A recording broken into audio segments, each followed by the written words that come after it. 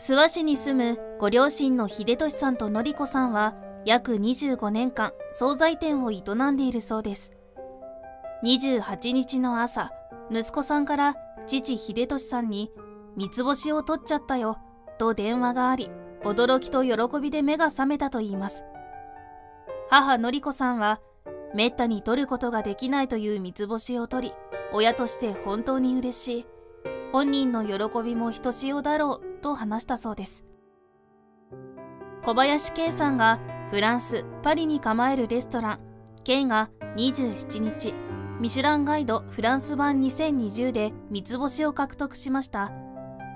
日本人シェフが現地で三つ星を獲得するのは初めてのことで外国出身のシェフとしては昨年に続き2人目となっています。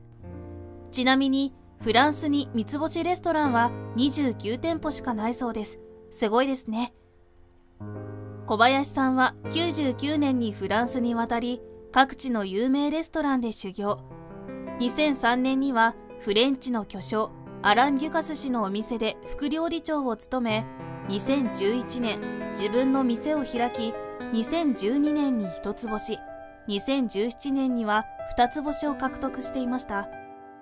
フランス・パリにご自身の店を構えた時からいつかは三つ星を取りたいとご両親に話していたといいます。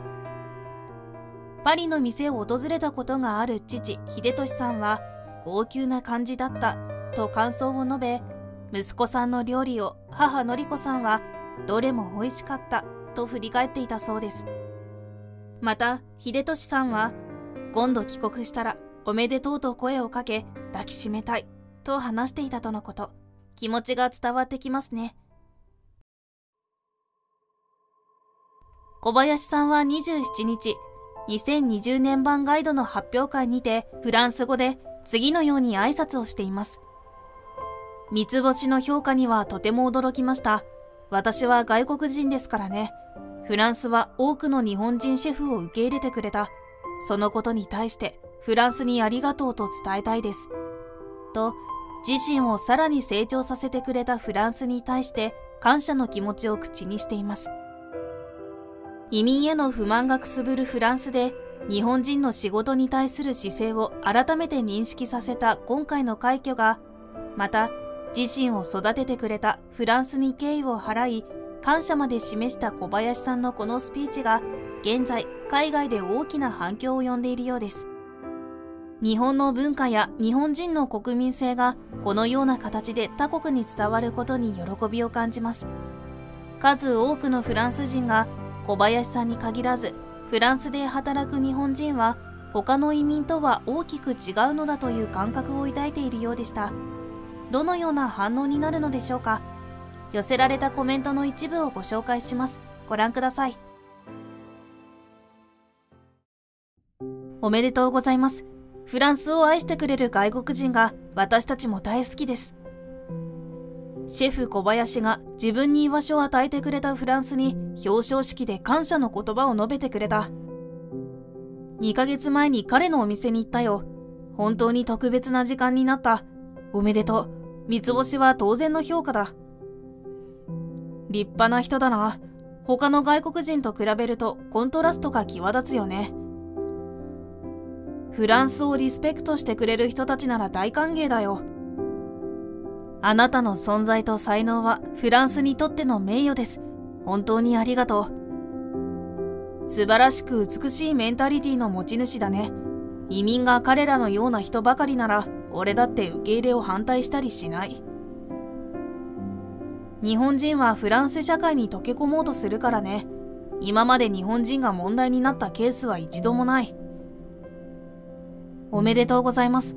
感謝を口にしてくれたスピーチはすごく新鮮に感じたね。なんて謙虚で敬意にあふれて礼儀正しい人なんだ。すべての移民やその子孫が彼のような精神性ならと思ってしまう。